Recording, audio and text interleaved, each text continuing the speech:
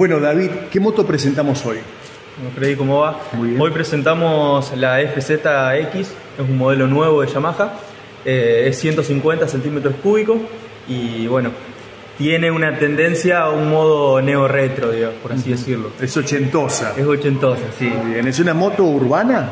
Es una moto urbana que viene con inyección electrónica, eh, viene con ya incorporado el freno ABS, o sea, estamos hablando de una moto urbana, pero con unos componentes bastante interesantes. ¿El consumo de combustible? El consumo de combustible viene también con el, el modo Blue Core, por así decirlo, lo que busca Yamaha con, ese, con el Blue Core es optimizar el consumo del combustible. Eh, cuando vos vas andando con la moto se te prende una lucecita que está en modo económica, o sea, la moto está actuando en su mayor rendimiento. ¿El tablero es digital? Tablero digital, sí, sí.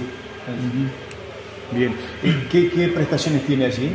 Y por ahí acá tenés, eh, bueno, lo que es el encendido electrónico, tenés luz alta, luz baja, la luz eh, para mantenerla siempre prendida, ¿viste?